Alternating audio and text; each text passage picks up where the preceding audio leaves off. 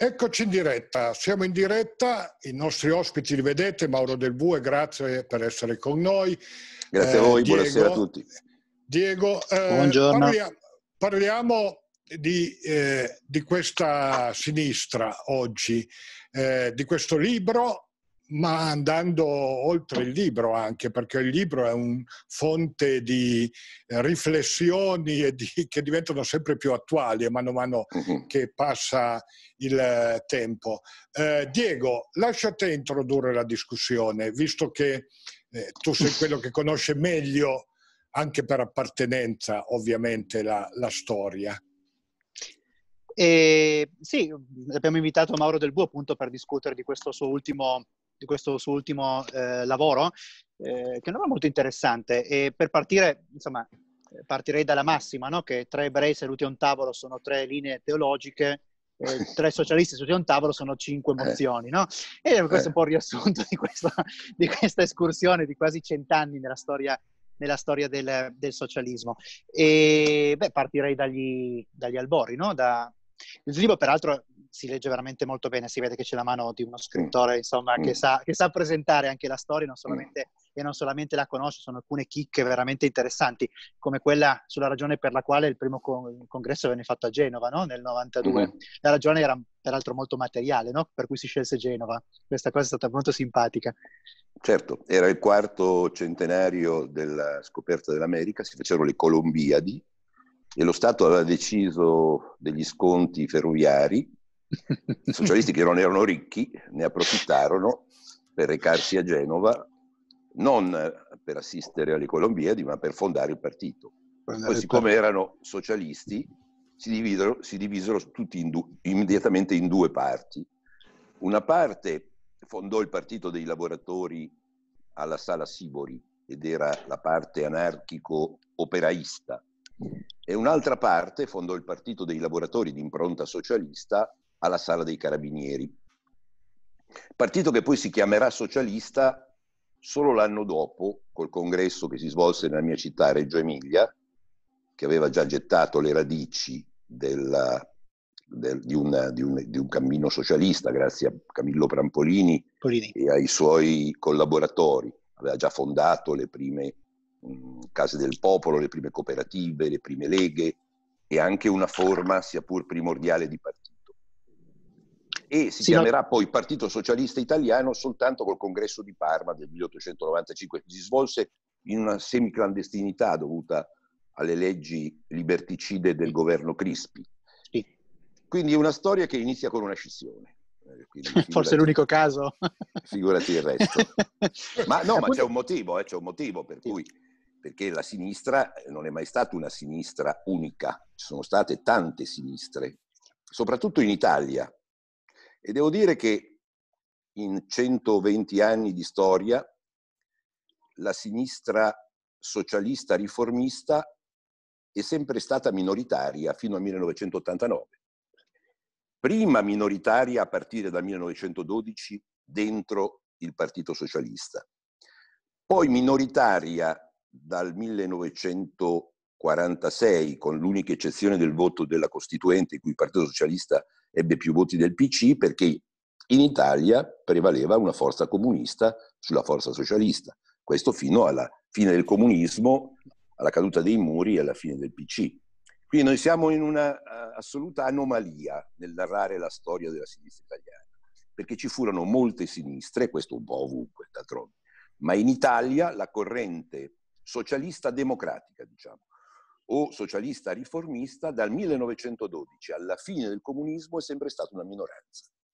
Ed è un'anomalia che ha ancora peso lo era anche nel 1946 di... in realtà, perché il, il PSUP, così si chiamava allora il Partito Socialista, che era eh, il risultato della unificazione tra PSI e il movimento di Lelio Basso, che si chiamava MUP, Movimento di Unità Proletaria, era sì al 20%, ma dentro questo 20% c'era una buona parte che col socialismo riformista non voleva avere nulla a che fare. Tanto è vero che poi negli anni 50, sai come veniva celebrata la nascita del Partito Socialista? Veniva celebrata come la nascita di un partito fondato da Andrea Costa, non da Filippo Turati. Mentre Andrea Costa nel 1892, al momento della fondazione del partito, non era neanche presente. Ora, su Andrea Costa si possono dire tante cose. Veniva dall'anarchismo, poi eh, convertito al socialismo, fondò il Partito Socialista Rivoluzionario nella sua Romagna prima del 1892, fondò l'Avanti come periodico socialista prima dell'Avanti, che nacque solo nel 1896, il giorno di Natale. Ma Andrea Costa non volle decidersi in quella circostanza, stranamente, tra l'opzione anarchico-operaista eh, e l'opzione socialista e non aderì a nessuno dei due partiti, aderì al partito di impostazione socialista soltanto a Reggio Emilia nel 1893. Io mi sono chiesto perché, poi sai, a leggere eh, dietro le, le, le quinte, le diciamo, dietro le righe, è a volte è pericoloso, però che sia in qualche modo dipeso da due fattori. Primo, dalla gelosia per Turati, che era intanto diventato il leader del Partito Socialista, i suoi adepti romagnoli lo spronavano a prendere lui in mano il partito e non a lasciarlo a Turati. E secondo la vicenda di Anna Kulishov, che fu prima compagna, compagna di, Costa. di, Costa. da cui ebbe la figlia Andreina e poi si accompagnò con Turati.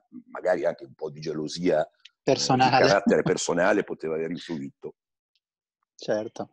Pronto? E, e... Sì, sì, ci siamo, ci siamo. Sì. Si è bloccato. Devo sistemare una cosa.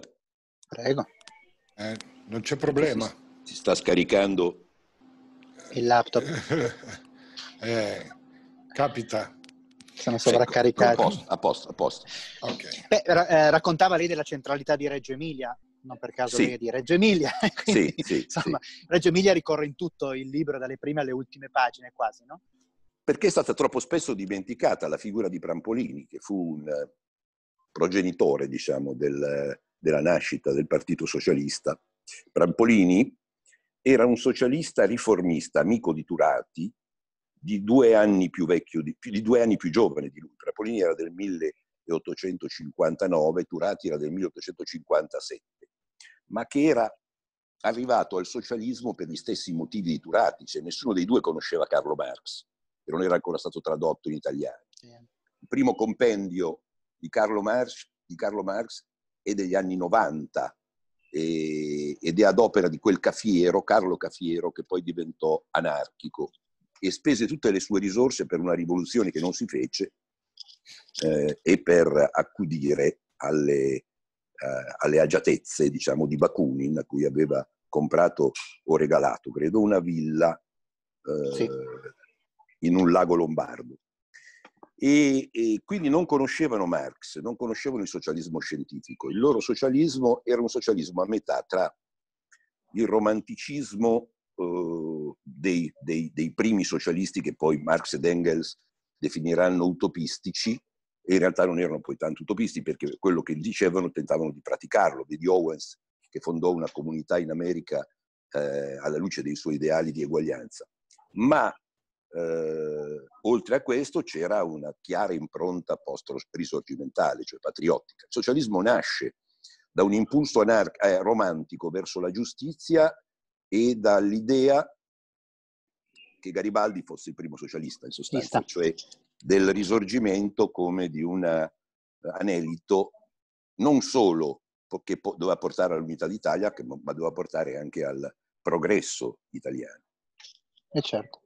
Peraltro Reggio Emilia, visto che questo collegamento si fa Italia-Polonia, è anche non solamente la patria del, eh, città certo. del tricolore, ma è anche il luogo dove venne scritto l'inno nazionale polacco. Sono le due cose sì. che uniscono Vibischi, in questo caso. Eh, eh, sì, certo, esatto. certo. E, esatto. C'è una lapide, c'è una lapide, c'è un'insegna nel palazzo comunale che ricorda questo avvenimento. La marcia di Dombrowski. Eh, la marcia di Dombrowski, del generale Dombrowski, ad opera di, di Vibischi, a cui è dedicato un intero quartiere a Reggio Emilia, un quartiere popolare, molto carino. Ah, questo non lo sapevo. Sì, sì. E quindi da quella prima scissione si passa di fatto già alla seconda scissione, che è quella che causerà, che causerà la, guerra, la, guerra, in Libia, no? Causata dalla, dalla guerra Libia e dalla, Beh, dalla, no, dalla prima guerra una, mondiale. Ce ne fu un'altra, oh, sì, ce ne fu un'altra importante che eh, bisogna ricordare perché poi da una parte nacque un fenomeno che influì anche sulla na- nascita del fascismo. Parlo della uh-huh. separazione tra socialisti riformisti che vinsero il congresso nel 1907 e i sindacalisti rivoluzionari uh-huh. eh, tra i sindacalisti rivoluzionari troviamo molti esponenti del primo fascismo, a partire da quel Michelino Bianchi che del partito fascista fu il primo segretario, oltre che quadrumviro della marcia su Roma. Erano ispirati dalle teorie di Sorel, il, mm-hmm. lo sciopero generale come momento di eh, catarsi del proletariato per la presa del potere, il gesto, insomma l'atto, l'atto demiurgico che poteva portare alla rivoluzione.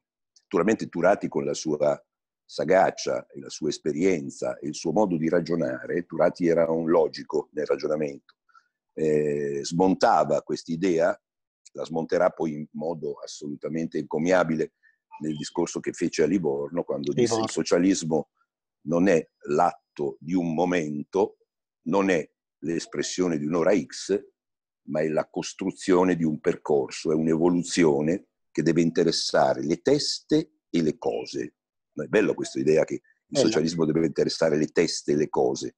Molto poco marxista, perché secondo Marx le teste sono espressione delle cose. Invece per Turati no. Per Turati l'evoluzione delle teste, cioè l'educazione, come diceva Prampolini, del proletariato.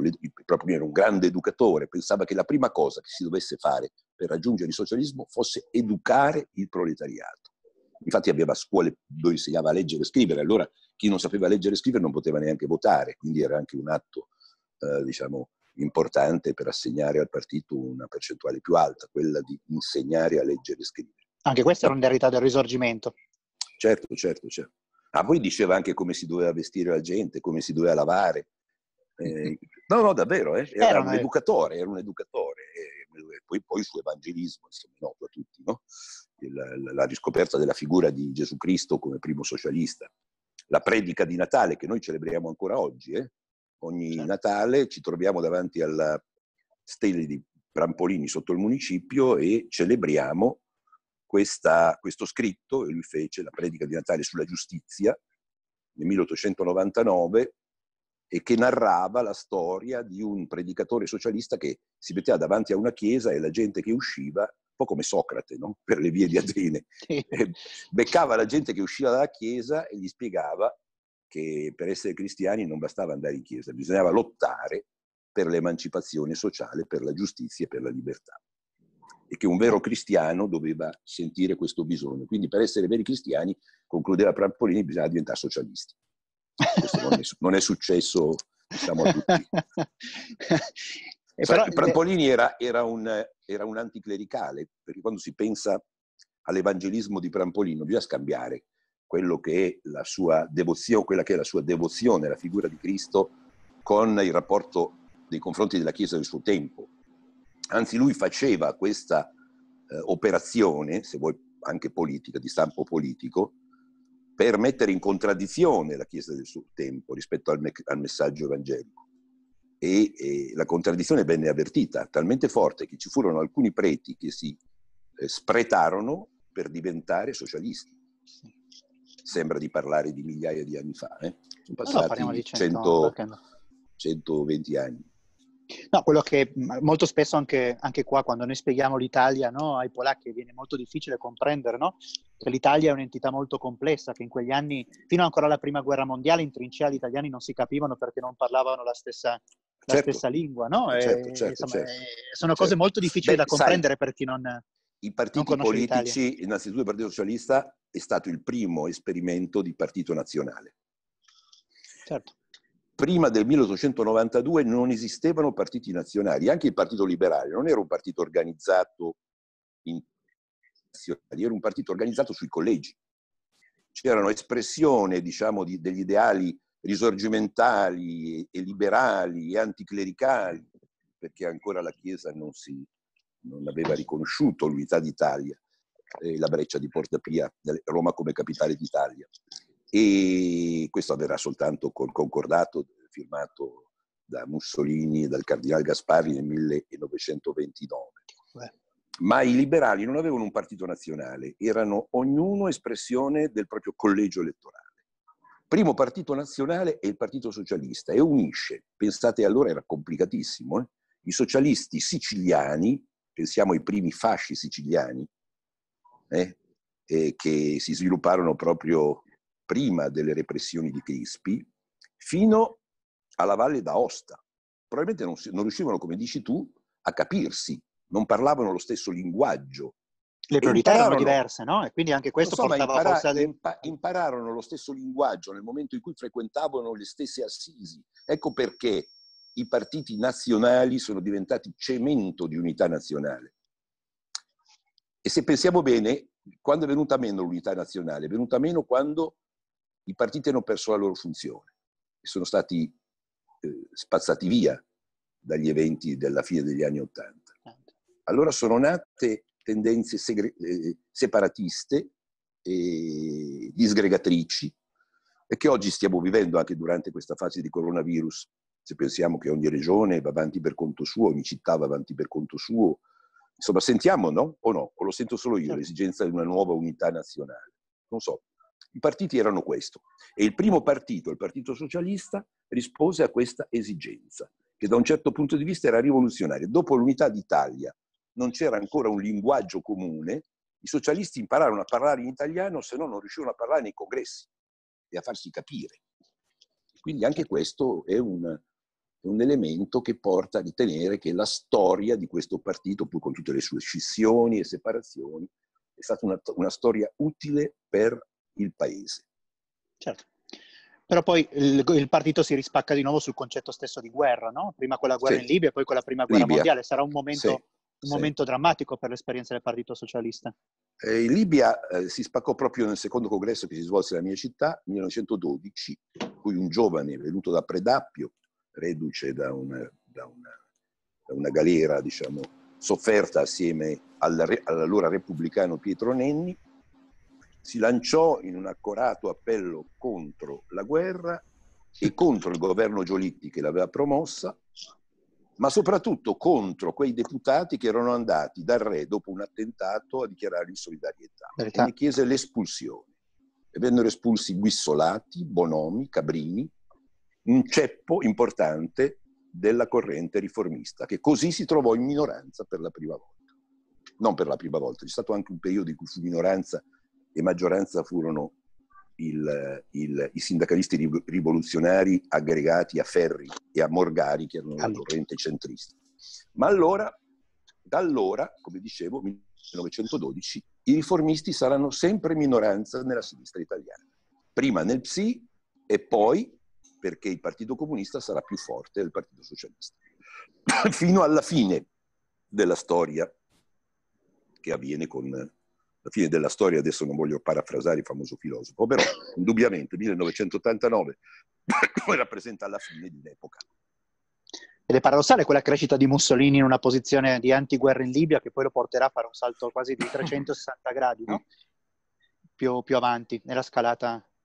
Secondo me fu una scelta sofferta e, una scel- e un'evoluzione, un'evoluzione, perché lui era di- dichiaratamente contro la guerra, poi quando comprese che la guerra sarebbe stata un'impresa che avrebbe influito sui destini dell'Italia e che la parte giusta era la parte che si schierava contro gli imperi centrali, cioè contro l'Austria e la Prussia, e, e volle l'alleanza dell'Italia con la Francia e l'Inghilterra, ma soprattutto scrisse il primo articolo, quello che viene eh, normalmente considerato come lo strappo di Mussolini, che è della fine del 1914, eh, un articolo molto misurato in cui diceva, vabbè, non possiamo restare con le mani in mano, però non era un articolo bellicista, diverrà dopo bellicista dopo che i francesi gli avranno pagato il suo nuovo giornale, Il Popolo d'Italia, e avrà capito, insomma, che a quel punto bisognava giocare a poker.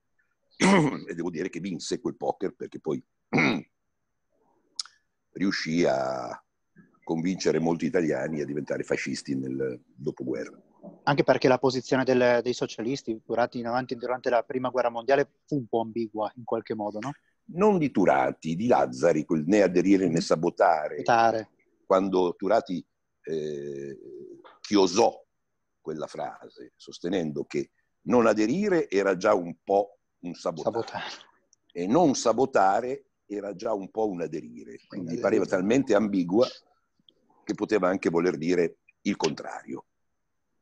anche perché la prima guerra mondiale poi non finisce con la prima guerra mondiale, ma per il mondo socialista diventa un altro fronte, no? quello molto complicato con la rivoluzione, la rivoluzione bolscevica esatto. del 17 esatto.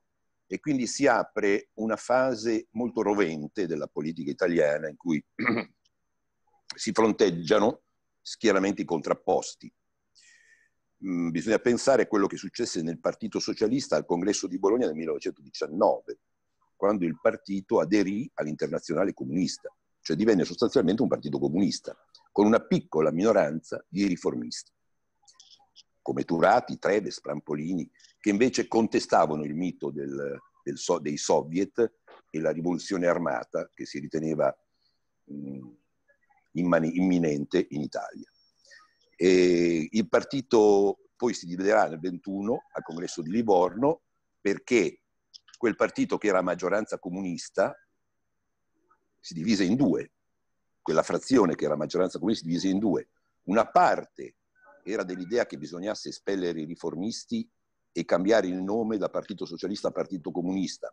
Era la parte di Terracini, di Bordiga, di Bombacci, di quelli che erano fedeli a cadavere a Mosca, i 21 punti di Mosca, che questo eh, pretendevano. E un'altra parte con Serrati, che invece pur tentando di rimanere nell'internazionale comunista non accettava questi due punti, cioè l'espulsione dei riformisti e il cambio del nome da Partito Socialista a Partito Comunista. Così i comunisti che si dichiararono comunisti puri fecero la scissione lasciando i comunisti impuri nel Partito Socialista assieme ai riformisti. Solo che dopo un anno, poco più di un anno, alla vigilia della marcia su Roma, i comunisti impuri, cioè Serrati e gli altri, decisero di cacciare i riformisti. Così un partito solo si divise non in due ma in tre. E la divisione fu assurda perché, come scrisse Nenni nel suo libro sui sei anni fondamentali dell'Italia, sei anni di guerra civile, editato in Francia per la prima volta, eh, vi fu una scissione dei concordi nella concordia dei discordi. Cioè, la scissione, la scissione segnò una rottura tra una maggioranza comunista che restò nel PSI e una minoranza comunista che uscì dal PSI, ma nel partito, cioè nell'unità, c'erano i discordi, c'erano i riformisti e i comunisti, che poi si scissero a loro volta, anzi vennero cacciati i riformisti da Serrati e dagli altri del Partito Socialista e fondarono il PSU, Turati, Prampolini, Treves, proprio alla vigilia della marcia su Roma. È una storia tragica, una storia paradossale, una storia abominevole, se vuoi. Pensare che si potesse consumare una scissione, una separazione, che si potesse decidere un'espulsione prima del proprio a pochi giorni dalla, della presa del potere da parte dei fascisti. Voleva dire non avere neanche il senso della situazione, il senso storico della situazione, non percepire quello che sarebbe accaduto. L'unica differenza rispetto ad oggi, lo dico per chi magari ha la mia età, che all'epoca quantomeno si litigava sulla visione, su visioni ideologiche molto spesso. Ah certo, si, no, si litigava solo su questo, poi c'erano anche questioni personali, se vuoi, ma sì. si litigava soprattutto su visioni ideologiche, certo. Ma nel Partito Socialista Riformista, poi, che si chiamò PSU, conversero, con, conversero persone di, di diverso tipo, no? da Matteotti che aveva combattuto la guerra a cadavere, poi anche il fascismo e sarà vittima del famoso omicidio del giugno 1924, a uh, Turati, che del Partito Socialista era stato il fondatore, con lui a Treves, a Prampolini, e a, ai socialisti di Molinella che avevano costruito le prime cooperative con Massarenti, a Modigliani e a tanti altri, che si consideravano socialisti democratici. Prima volta in cui si parla di partito socialista democratico, ne parla Prampolini sulla giustizia, dicendo noi non siamo più socialisti unitari, che non vogliamo l'unità con chi professa un'ideologia totalitaria come i comunisti. Noi siamo socialisti democratici e questo dovrebbe essere il nome del partito, disse Prampolini nel 1925. La cosa drammatica è che nemmeno, nemmeno, gli anni del fascismo, gli anni della guerra riusciranno a, a creare una specie di fronte, di fronte comune no? dell'area socialista. Perché ha parlato prima del, di Matteotti, sta... no? ieri, ieri Nencini ricordava sì. quelle frasi di Gramsci sul, sull'omicidio sì. Matteotti, no? che sì, dette oggi sembrano... Sì, sì, ma Gramsci scrisse sull'ordine nuovo parole ancora peggiori su Prampolini e i socialisti reggiani. sì. eh, che definì utili idioti della borghesia. Sì, sì. E, Incredibile. E, e Togliatti scrisse parole di fuoco suturati dopo la morte del leader socialista a Parigi nel 1932. No, tutte cose che sono rimaste nella storia, che non si possono cancellare. Perché eh, sono misconosciute. Ma non sono conosciute, beh sai, su questo dovremmo fare un ragionamento a parte sulla storia eh, in questo momento, come, come è concepita e come è recepita la storia d'Italia, come è conosciuta male la storia d'Italia, soprattutto la storia della politica italiana. Anche perché poi la storia, siccome è molto elegante, ha anche poi fatto vedere no? chi aveva ragione. Magari col tempo e col passare del tempo, ma oggi sappiamo chi era sulle posizioni. Sì, ma non corrette. conta più nulla perché ci sono partiti astorici, quindi eh, chi aveva ragione e chi aveva torto non conta assolutamente più nulla, non ci sono esatto. più vecchi partiti, possono rifugiarsi dietro nuove sigle. Coloro che, che hanno avuto torto possono rifugiarsi nelle nuove sigle inventate proprio perché hanno avuto torto. Sì, beh, purtroppo è vero. Esattamente così. E la fine del fascismo, inizio del dopoguerra, invece porta una nuova figura. Che Beh, il Partito no? Socialista eh, si unifica nel 1930, il Partito Socialista, il PSI e il PSU, insomma, il Partito dei mhm. riformisti di Turati e il Partito massimalista di Nenni, si unificano nel 1930 in Francia. Quindi si presentano ancora, eh, dopo l'unificazione col Movimento di Unità Popolare di Lelio Basso, come partito unitario del socialismo italiano, dove ci sono correnti diverse, da quelle di Saragat, di impronta chiaramente riformista e democratica, fino a quelle di Morandi e di Basso. Quest'ultimo addirittura proponeva per un certo periodo anche il partito unico dei lavoratori italiani. Infatti il suo MUP era un partito che si prefiggeva lo scopo dell'unità proletaria, cioè l'unità dei partiti proletari. Poi, Eppure, dimmi, dimmi, poi, poi ci fu la battaglia per la Repubblica che il Partito Socialista patrocinò molto più dei comunisti che dopo la svolta di Salerno del 1944 di Togliatti voluta da Stalin legittimò la monarchia. Mentre il Partito Socialista non l'ha mai legittimata, ha sempre ritenuto la Repubblica e la Costituente i due obiettivi fondamentali dell'immediato dopoguerra. Nenni disse, era famoso per gli slogan, disse o la Costituente o il caos. Infatti arrivò la Repubblica con il referendum del 2 giugno e contemporaneamente alle elezioni per la Costituente, cosa imprevista allora. I socialisti vincono I socialisti, I socialisti sono più forti dei comunisti. comunisti. Prendono il 20%, i comunisti il 18%. E Amendola scrive che questa cosa non era stata prevista, era difficile da comprendere, perché durante la resistenza in effetti i comunisti erano stati più numerosi e attivi dei socialisti, più organizzati. Esatto. Avevano anche più soldi perché li pagava Mosca e quindi potevano certamente organizzarsi meglio. L'organizzazione del PC è sempre stata una peculiarità e la disorganizzazione nel PSI un'altra peculiarità. Esatto. Poi ci fu la scissione di Sargat nel 1947, giustificata dal fatto che i socialisti volevano presentarsi con i comunisti alle elezioni, fare il fronte popolare. Sara eh, non ci stava e fondò il Partito Socialista dei Lavoratori Italiani, che si richiamò proprio alla sigla di Reggio Emilia del 1893, Partito Socialista dei Lavoratori Italiani. E quindi c'era e, una dualità di quasi dieci anni no? tra Sara e Nenni. E qui nasce un partito, il PSI, che è un partito definito da, da uno studioso italiano a sovranità limitata. Cioè il Partito Socialista era un partito che sostanzialmente assomigliava molto al PC, difendeva Mosca e Stalin, attaccava gli altri partiti socialisti e socialdemocratici dell'Europa occidentale e prendeva ordini dal partito fratello. C'è Basso, che in questo periodo si distingue un po', che dice, scrive uno dei suoi scritti, sostiene la tesi che un partito così non ha senso, tanto vale aderire al PC. Morandi sosteneva invece che la distinzione tra PSI e PC era un problema falso. Il problema era l'organizzazione della lotta, in cui i socialisti dovevano caratterizzarsi assieme ai comunisti. E che il problema di fondo era conoscere la posizione del partito nei confronti della guerra dichiarata all'Unione Sovietica guerra non materiale ma politica all'Unione Sovietica. E a quel punto scelse una parte del campo scelse il campo sovietico e comunista rispetto al campo occidentale, democratico, capitalista. Però poi arrivò l'Ungheria. Si slegò da, questa, da questo legame Nenni nel 1956. Morandi era morto da poco più di un anno, dopo il congresso di Torino del 1955. Morandi muore in quel congresso, anche Morandi sostiene la necessità del dialogo con i cattolici. Il congresso Torino è tutto imperniato sul dialogo con i cattolici. Il congresso di Venezia del febbraio 1957 sancisce la fine dell'unità d'azione col Partito Comunista dopo la presa di posizione dei socialisti sui fatti d'Ungheria e sul ventesimo congresso del CUS. Sul ventesimo congresso del CUS che segnalava il superamento e la condanna diciamo, del, del mito del, eh, di Stalin, no?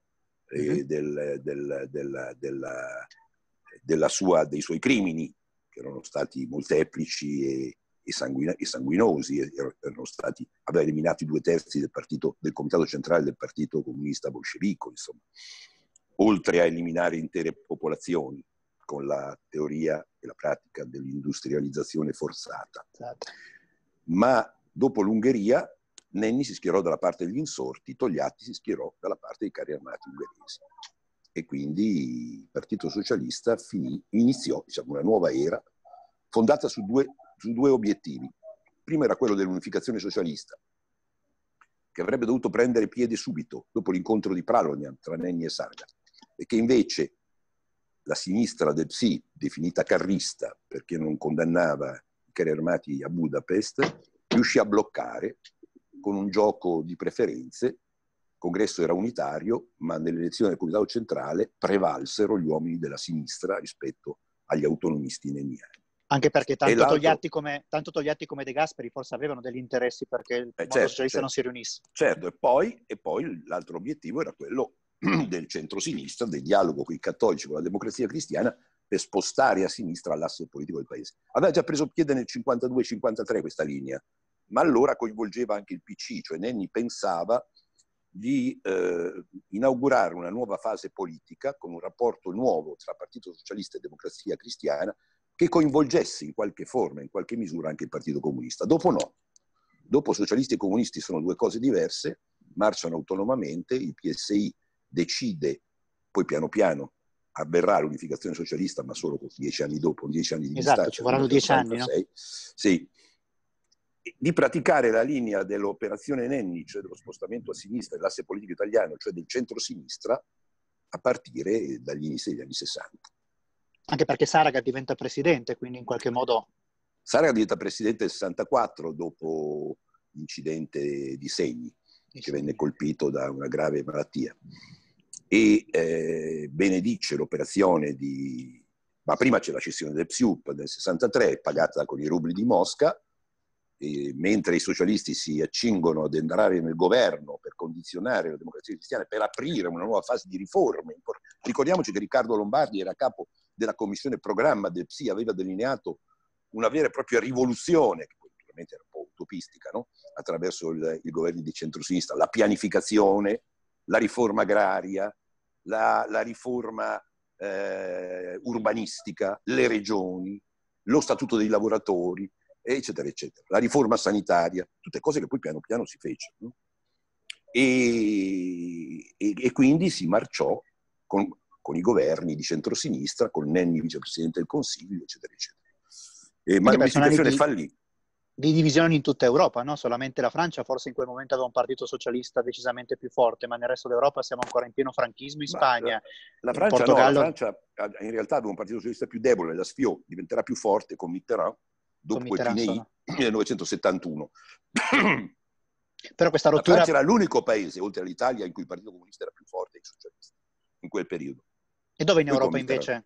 Dove invece in Europa in quegli anni eh, il socialismo riformista aveva più spazio rispetto Beh, all'Italia? C'era la socialdemocrazia svedese, finlandese, eccetera, i laburisti inglesi, inglesi. Eh, i socialdemocratici tedeschi. Ricordiamoci della figura di Willy Brandt, una figura storica, esatto. no? la storia del socialismo europeo.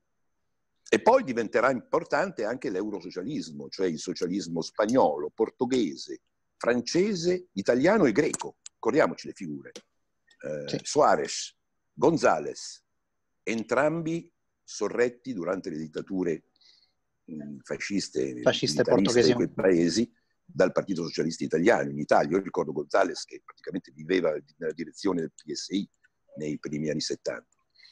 E poi Mitterrand in Francia, Craxi in Italia Papandreou. Papandreou in Grecia, l'eurosocialismo, a cui si volle contrapporre un eurocomunismo che in realtà non c'era, perché in Portogallo i comunisti erano praticamente inesistenti, così pure in Spagna. In Francia erano spariti, c'era solo il Partito Comunista Italiano di Berlinguer.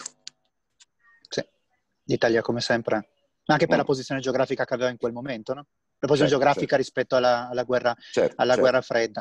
Però poi certo, quegli poi anni, fallì, anni... Fallì, fallì, l'unificazione socialista con un'alleanza che si, che si, che si riuscì a, mettere insieme nel comitato centrale famoso del luglio del 1969 tra Mancini, che era molto arrabbiato perché non divenne segretario per veto di Saragat, il segretario venne eletto Mauro Ferri, De Martino, Giolitti e Viglianesi. Fu la nuova maggioranza che mise in minoranza Nenni al comitato centrale, esclusi i socialdemocratici e quindi in qualche modo legittimò una nuova scissione.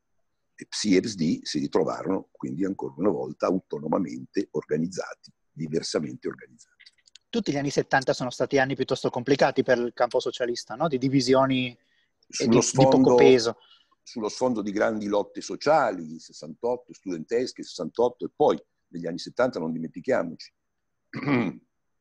L'austerity, la crisi del petrolio, l'inflazione, il terrorismo, quindi grandi problemi, le grandi battaglie per i diritti civili, la figura di Loris Fortuna, i referendum vinti, sul divorzio prima e sull'aborto poi, L'idea che, che i socialisti potessero risorgere, poi troncata da quel risultato del 1976, quando De Martino in televisione disse i socialisti non andranno mai più al governo senza i comunisti. E ritornammo così ad un rapporto organico di dipendenza degli uni sugli altri. E poi la fase Craxi. È paradossale che neanche, che neanche, gli anni della lotta, della lotta armata no? abbiano portato un indietreggiamento del Partito Comunista e uno spazio per un socialismo un socialismo democratico, no? È paradossale neanche, questa cosa. Neanche, non solo, non, non portò l'indietreggiamento del Partito Comunista, neanche i fatti d'Ungheria, perché sì. dopo i fatti d'Ungheria il Partito Comunista perse poco o nulla. Il Partito Socialista ebbe un buon risultato, il 14,2%, superato solo dal risultato del 1987 del PSI di Craxi, 14,3 per uno 0,1.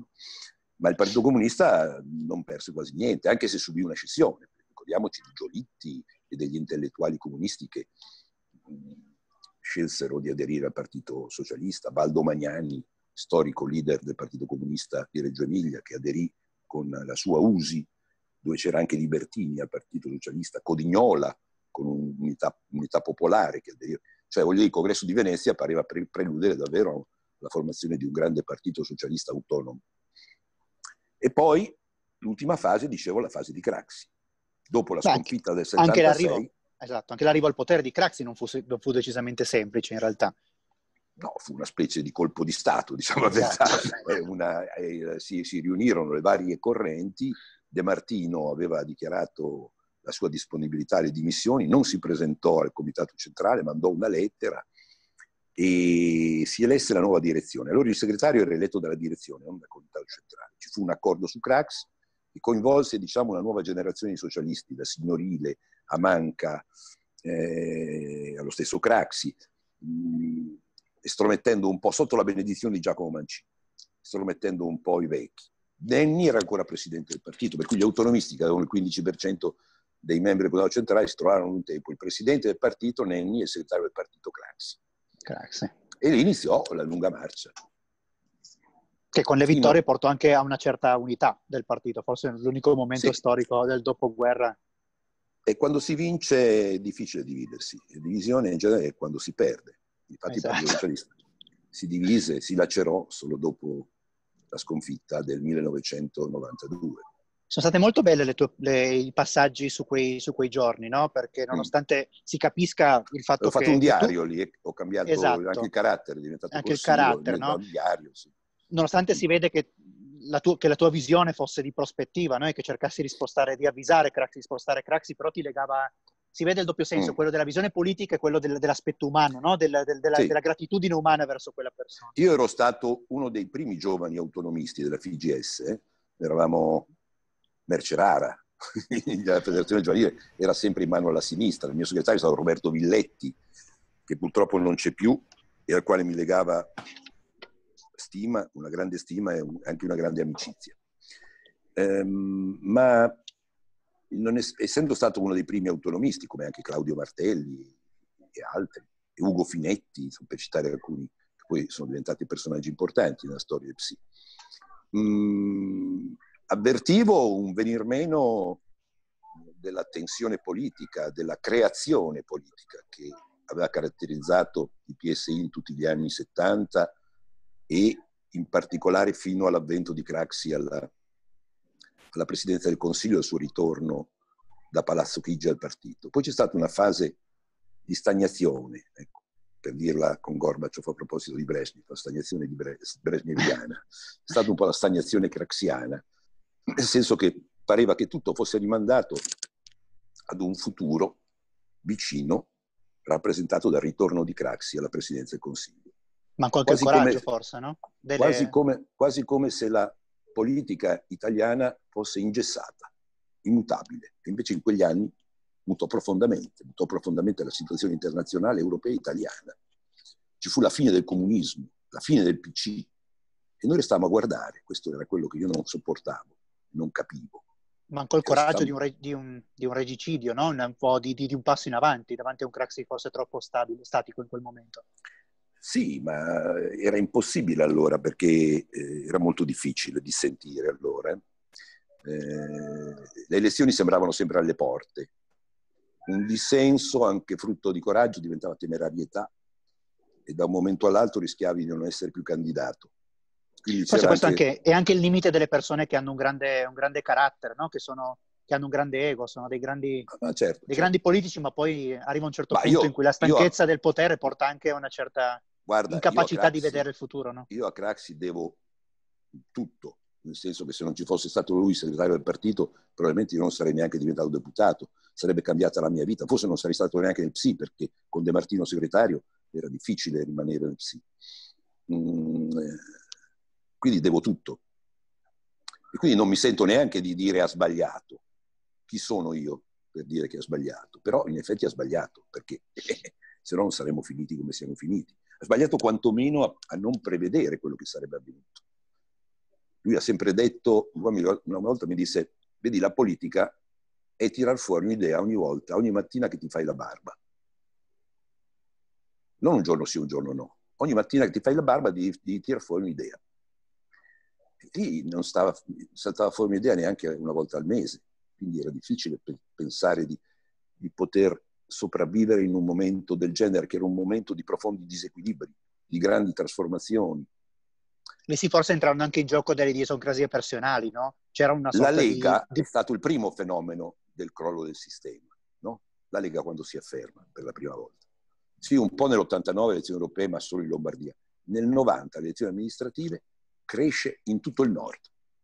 La Lega è un fenomeno di base, una reazione di base, elegge personaggi che nessuno conosce, con 10 preferenze, 15 preferenze, però col 5%, 6%, 10% ovunque nel nord. E poi si conferma, anzi avanza fortemente con le elezioni del 1992, quando si porta a 50 deputati, 20 o 30 senatori. Quello è primo, la prima avvisaglia. La seconda sono i referendum segni. E il primo, noi siamo andati a, a parteggiare per il non voto quando nessuno ce l'aveva chiesto. Quindi siamo risultati veri sconfitti. Quella andata al mare famoso, no? Sulla preferenza unica. Andate al mare. Giugno, maggio-giugno 1991. E il terzo è Tangentopoli, l'esplosione delle indagini sul finanziamento illecito. Tutte e tre hanno portato alla e sono stati momenti successivi, non sono esplosi insieme, no? Eh? Sono stati anni tra l'uno e l'altro, di non capire che c'era qualcosa che li legava, un percorso unico che portava alla frantumazione del sistema politico italiano, è stato un errore non da poco per un leader politico. Eh? Lui pensava, come me lo disse, poi alla fine la, la democrazia cristiana reggerà e noi assieme alla DC, anche col maggioritario, faremo 60 seggi al sud. Anche la democrazia cristiana è sparita, capisci? È stata una pulizia, eh, come dire, una, eh, sì, globale, no? Una, C'era lui la sicurezza che la, caduta, che la, caduta del muro di Berlino portava anche alla sparizione del, del Partito Comunista, in qualche modo quelli sarebbe stato un campo, un campo che, aperto. No? Pensava che la fine del comunismo riguardasse solo il PC, infatti disse non un solo calcinaccio deve arrivare sulla nostra testa. Invece è arrivato interamente il muro sulla sì, nostra sì. testa. Sì, Questo è stato l'errore. E, e anche un mondo che stava... Il periodo anche della criminalizzazione di Craxi che noi abbiamo cercato di combattere, perché questo è veramente assurdo. I falsi processi, le indagini giudiziarie finite con delle condanne senza senso. Se le somme insieme arrivano all'ergastolo per un uomo di 70 anni, 65 anni, come era lui allora. Ergastolo per, finanzi- racconti, racconti... per, fi- per, finanziamento illecito, Lecito. mentre i mafiosi ah. escono dalle galere. Insomma, sembra una roba No? Esatto. Già racconti, in un passo molto, molto, molto umano racconti della difficoltà di riuscire a, crea- a, a, far vedere un dissenso politico nel momento in cui bisognava stringersi intorno a un capo che veniva eh beh, certo. completamente attaccato. Eh, certo, certo. Noi smettemmo di fare opposizione. Io ero tra i fondatori della corrente di Claudio Martelli, Rinnovamento, nel 1992, durò sei mesi, perché poi dopo il primo avviso di garanzia a Craxi cessammo assolutamente. Cioè non potevamo, insomma, qui il problema non era più politico, era la criminalizzazione di un uomo e conseguentemente di un partito. Questo, anni... questo, questo, se mi è consentito, prego, prego. Si, è, si, si è fatta parzialmente giustizia di questo. No? Nel ventennale della morte sono attraverso un film, attraverso molte discussioni, attraverso celebrazioni, attraverso delegazioni di partiti che sono andati ad Ammamet, si è parzialmente rimossa quella pregiudiziale e quella condanna senza appello che era stata emessa eh, vent'anni fa. 25, Anche perché, come abbiamo detto prima, la storia è molto elegante per chi vuole vederla, no? prima o poi dà sempre ragione sì, poi, a chi l'aveva. Si, prima o poi sistema le cose, la storia, è, la storia è vera, la storia è verità alla fine, è verità. Prima o poi sistema le cose, le mette tutte al proprio posto. Ma ci vuole molto tempo. Ancora adesso non è al proprio posto la storia, perché ha cancellato per intero, o rischia di aver cancellato per intero tutta la storia socialista. Quando io penso che nelle sezioni del PD ci sono i ritratti di Togliatti, di Berlinguer, di Rilde Iotti, a volte di Moro, perché poi si ricordano che ci sono anche una parte di ex democristiani, ma non c'è mai un ritratto di Turati, di Nenni, di Saragat, per non dire di Craxi. Allora capisco che è interesse di qualcuno avere rimosso quella storia, non ricordarla. Perché quella storia in realtà è la dimostrazione della loro falsa coscienza. Cioè la dimostrazione che c'è stato chi prima di loro è arrivato a certe conclusioni, da loro in quel periodo sempre contestate. Perché è comodo dire che hanno avuto torto sull'Ungheria, hanno avuto torto sul centro-sinistra, hanno avuto torto su Nenni, adesso in parte sostengono anche di aver avuto torto su Crax. Arrivare sempre con vent'anni di ritardo, c'è chi paga le proprie ragioni ed è strano, eh, ma in Italia siamo arrivati al punto che è giusto pagare non dei propri torti, ma delle proprie ragioni. Cioè, no, sì. eh? Però eh, in un futuro io molto spesso litigo anche no? con, con, quelli della generazione prima di me, nel senso che quelli della mia generazione, io all'epoca io sono dell'83, quindi cosa avevo? 7-8 sì, anni, no? Sì, 9 sì. anni. Eh, L'elettorato di una certa sinistra, me, i miei amici, che votiamo tre, o quattro partiti diversi, no? Poi in realtà mm. quando ci sediamo al tavolo, in fin dei conti, no? abbiamo le stesse, ah. le stesse idee, ah. la stessa visione ah. del futuro. Ancora oggi noi ci presentiamo davanti a delle difficoltà che sembrano insormontabili, no? Mm. E, e, poi eh, leggendo il tuo libro mi sono trovato davanti invece a delle divisioni anche ben più profonde rispetto a quelle mm-hmm. che noi abbiamo oggi, su questioni certo. molto più, molto più certo. crude come le questioni certo. ideali, no? Certo. E infatti e mi chiedo, ma se siamo stati in grado di superare quelle divisioni laggiù, com'è possibile che oggi non siamo in grado di, di fare un passo in avanti e riuscire a superare anche queste altre? Non è che a volte noi pretendiamo da loro una specie di abiura rispetto al passato che forse non, mm-hmm. non otterremo mai, che è anche una presunzione forse nostra a volte? Una domanda provocatoria, eh? Sì, può essere può essere. D'altronde, sai, quando tu sei stato in, una condizione, sei stato messo in una condizione di umiliazione, se non di disprezzo, eh, di carattere morale, perché un conto è il dissenso o anche la lotta dura, a volte anche sanguinosa, per eh, ragioni politiche. Ma quando tu, quando i nostri compagni di base non riuscivano ad andare al bar del paese dove erano andati non, senza sentirsi offendere da quegli stessi con i quali avevano collaborato, perché generalmente in Emilia c'erano state giunte di sinistra, sindaci socialisti, vice sindaci comunisti o viceversa. Lì si è determinato uno strappo, uno strappo che ha favorito poi il voto della maggior parte dei socialisti che votavano PSI a Forza Italia, cioè un partito che non c'entra certo. niente con la, con la, storia del socialismo, eccetera.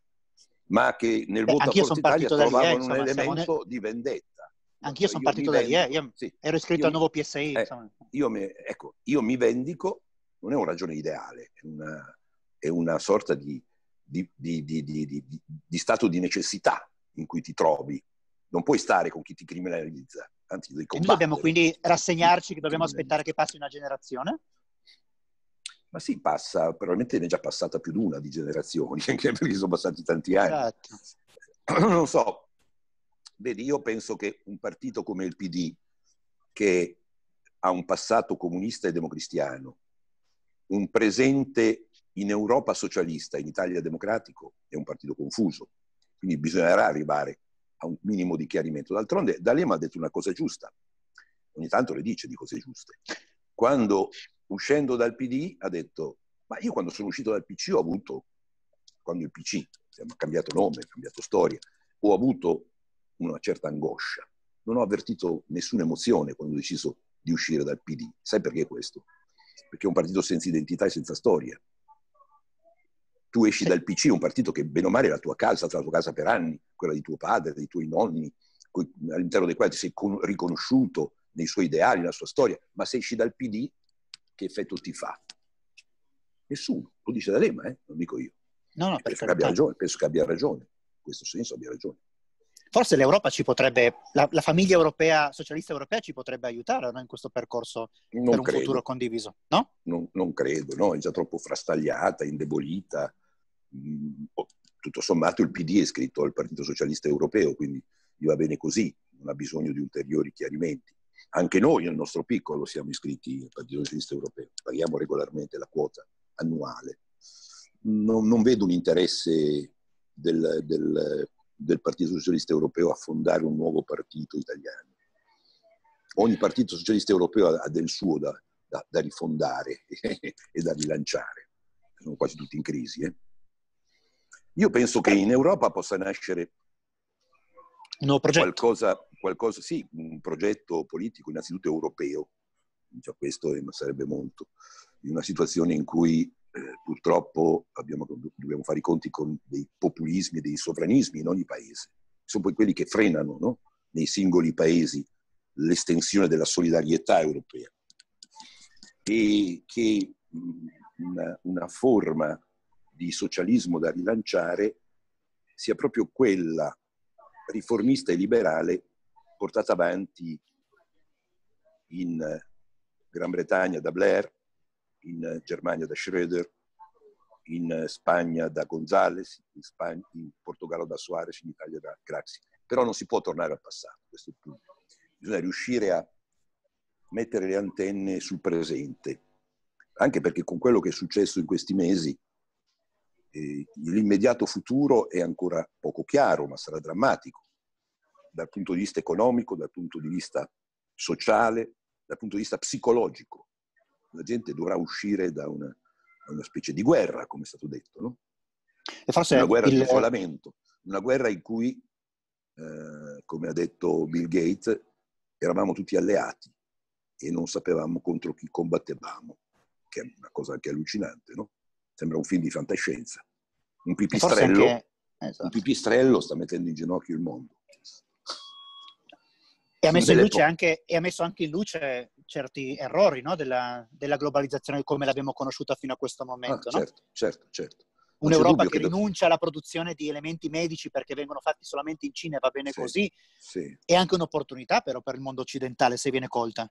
Non c'è dubbio che bisogna ridisegnare tutto, non c'è poco da fare. Eh, siamo a un punto di non ritorno e quindi eh, ci sarà un periodo in cui lo Stato dovrà necessariamente accompagnare l'economia, sovvenzionare e accompagnare l'economia, sarà un momento in cui certi servizi dovranno essere ulteriormente potenziati e non tagliati, penso alla sanità. Sarà un momento in cui eh, bisognerà pensare di por mano anche a una revisione istituzionale in questo paese, perché così non si può andare avanti. I rapporti tra Stato, regioni, comuni non possono continuare ad essere questi. E crede che sia possibile, eh, con una spinta regionalista così forte, tornare indietro?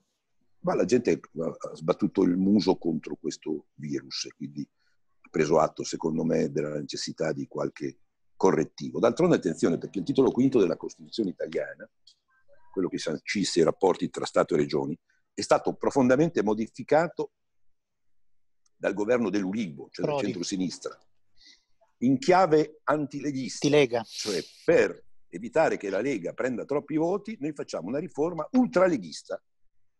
Cioè attribuiamo tutti i poteri alle regioni, no?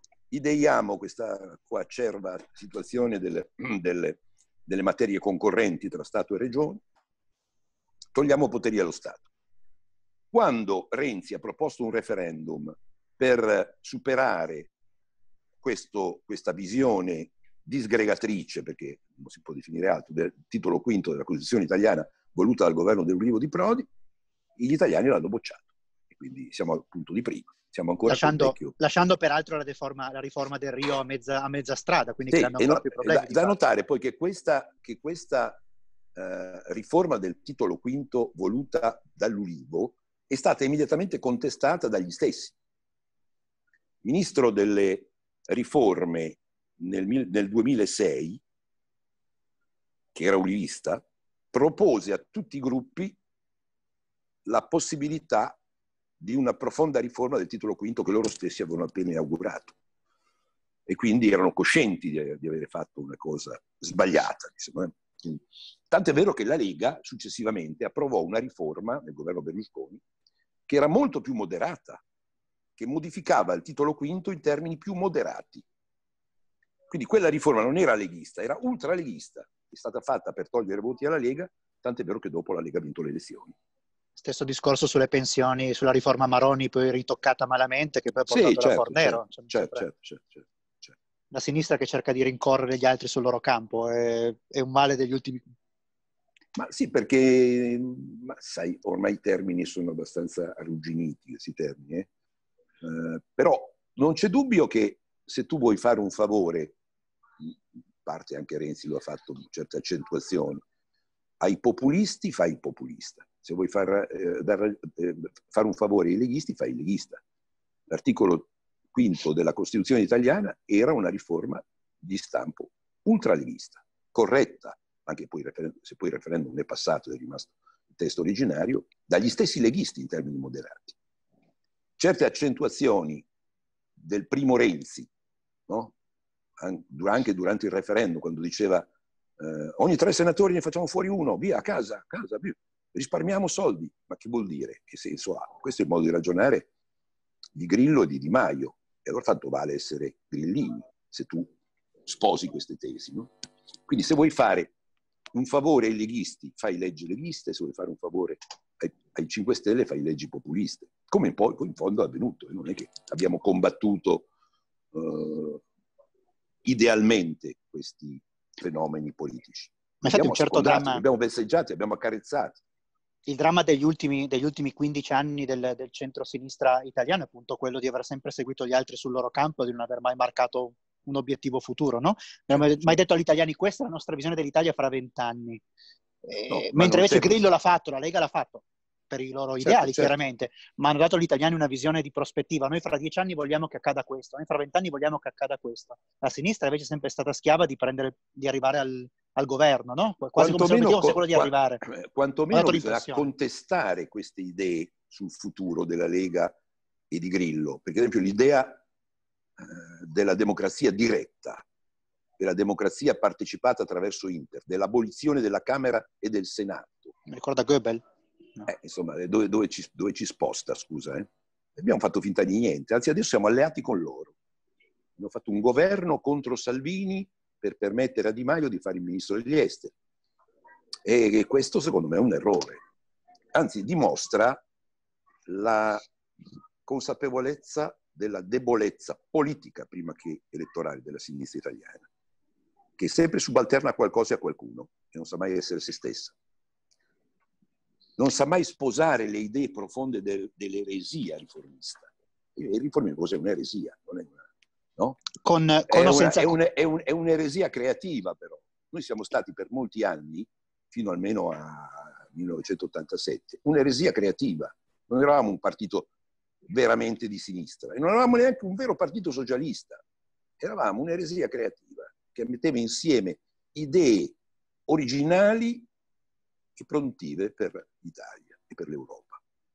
Eravamo un socialismo diverso, particolare. E siamo ancora gelosi di questa particolarità, solo che non sappiamo farla emergere. C'è anche tra quei pochi che ci sono rimasti, c'è una tendenza sbagliata a tornare al veterosocialismo, al marxismo, a cose che sono morte e sepolte, oppure a, alla rassegnazione che bisogna dar ragione a Salvini. Insomma, tutte due cose sbagliate. C'è però una, una, una nuova generazione trasversale in diversi partiti della sinistra italiana che, che, lei crede che in un futuro sì. possano sedersi a un tavolo e riuscire a creare qualcosa? Ma Se hanno paura della parola sì. socialismo, che utilizzino la parola riformismo, la chiamino come vogliono, la cosa, con qualsiasi cosa. Sì, ma attenzione perché dietro una parola ci sta una cosa, no? Eh, Grau so. diceva prima la cosa e poi il nome, no? Ti ricordi? Infatti il Partito Comunista per un periodo, quando non aveva il nome, si chiamava la cosa. la cosa. e eh, dietro il termine socialista ci sta la nostra storia. E quando D'Alema disse che il termine socialista in Italia era diventato impronunciabile, condannava noi all'impronunciabilità, capisci? Qui è, secondo me invece è centrale il nome. Però non teme che abbia ragione D'Alema? Cosa. Non teme che abbia ragione D'Alema? Purtroppo, eh, sottolineo Ma io. ragione, può avere ragione, nel senso che gli può, gli, può, gli può far perdere i voti la parola socialista. Ma noi non possiamo negare che no. di esserlo stati e di esserlo ancora, di avere il diritto di esserlo, no? E di avere il diritto di difendere una parola che è una storia, che è la nostra storia e che non è affatto impronunciabile, perché ci siamo noi, qua, ancora vivi, che la pronunciamo. D'accordo. Però, ripeto, in un futuro, in un, in un futuro prossimo, mettiamo fra 10-15 anni, per le sfide che ci aspettano adesso dopo il coronavirus di ricostruzione della casa europea e di, un, di una nuova visione economica europea, eh, c'è una nuova classe di, di, dirigente che è in grado di poter superare gli anni Ottanta e di mettersi insieme per lavorare in Italia? Io ancora non, devo dire la verità, ancora non la vedo, non vedo dei leader eh, in grado. Ho pensato che lo potesse essere Renzi, che aveva fatto una grande innovazione all'interno del PD, aveva anche insomma, rinnovato la, la classe dirigente, messo da parte certi miti, certi luoghi comuni, anche certe ideologie. Eh, ma se Renzi ha fatto la scissione perché in quel partito non ci si poteva stare, immagino che sia molto difficile poterci, poter, poter convivere con esso. Era molto difficile. Perfino Renzi, Calenda anche. Calenda dice che è liberal socialista, interessante la cosa.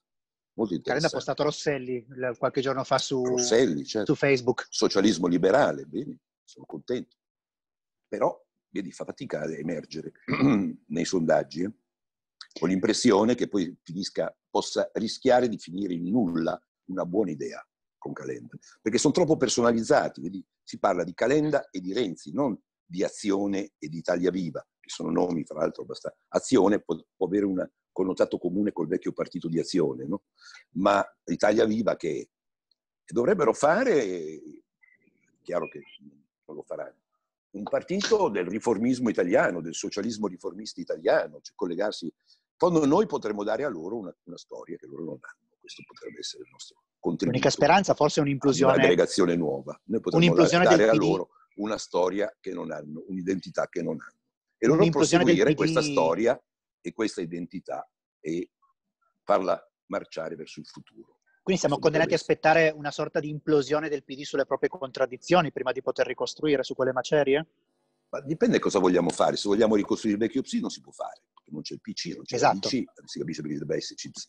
Se vogliamo costruire un contenitore dentro il quale ci sta la nostra storia, la nostra identità, i nostri programmi, io penso che sia più facile costruirlo oggi con una nuova aggregazione che metta insieme Renzi, Calenda, Labbonino, eccetera, eccetera, piuttosto che dentro il PD anche se è un'operazione difficile. Innanzitutto perché Renzi e Calenda non si sopportano, quindi quando due persone non si sopportano è difficile che si possano sposare. Devo dire in realtà è più Calenda che non sopporta Renzi, piuttosto del contrario, perché in genere è lui che fa la polemica con Renzi. Renzi non mi pare che abbia aperto polemiche con Calenda. Ma a volte i matrimoni si fanno anche per interesse. Eh?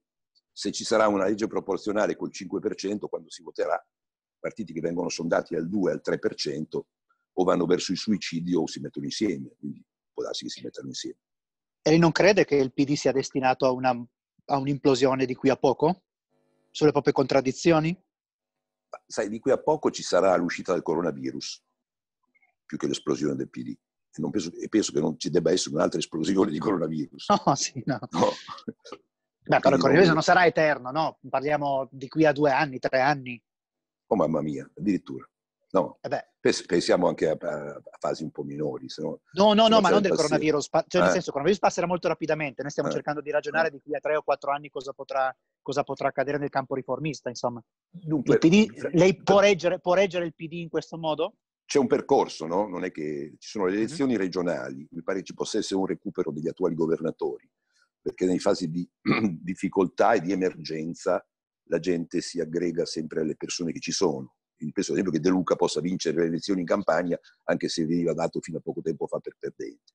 Penso che Emiliano possa vincere le elezioni in Puglia, anche se fino a poco tempo fa veniva dichiarato perdente. Poi ci sarà il referendum sulla diminuzione dei, sul taglio dei parlamentari. Noi su questo abbiamo detto no. Probabilmente perderemo, ma eh, siamo convinti che questo sia un taglio alla democrazia. Io non voglio approfondire il discorso, se no diventa troppo lungo. Poi ci sarà l'elezione del Presidente della Repubblica. In mezzo mi pare che ci sia poco tempo per fare le elezioni politiche anticipate, perché prima del referendum non si può fare, sette mesi prima dell'elezione del Presidente della Repubblica c'è il settennato, c'è il settennio bianco e quindi non si può fare. Votare dopo l'elezione del Presidente della Repubblica bisogna vedere a che punto siamo. Mi pare difficile fare delle previsioni, eh? francamente impossibile. Come sarà l'economia italiana nel 2021, nel 2022? Eh, In che situazione sarà? Però Secondo me la, l'idea che dovrebbe convincere tutti a fare un passo indietro dovrebbe essere quella di fare un governo di ricostruzione nazionale che metta insieme non le forze politiche, ma le energie migliori di questo paese, magari diretto, presieduto da un personaggio, da una risorsa che, che noi abbiamo, perché abbiamo avuto presidente della BCE, potrebbe benissimo guidarlo, e che in Parlamento trovi la fiducia, se non di tutti, della stragrande maggioranza delle forze politiche. Allora sì, che l'Italia può governare il periodo più difficile della propria storia dal dopoguerra ad oggi. Perché di questo stiamo parlando, e forse non è ben chiara la cosa, eh, ma avremo milioni di disoccupati, avremo eh, attività imprenditoriali, artigianali, commerciali soprattutto che saranno costrette a chiudere. E quindi dovremo governare una fase di emergenza che non sarà di breve periodo, molto complicata e difficile, con un governo che se resta questo mi sembra un po' debole, ecco.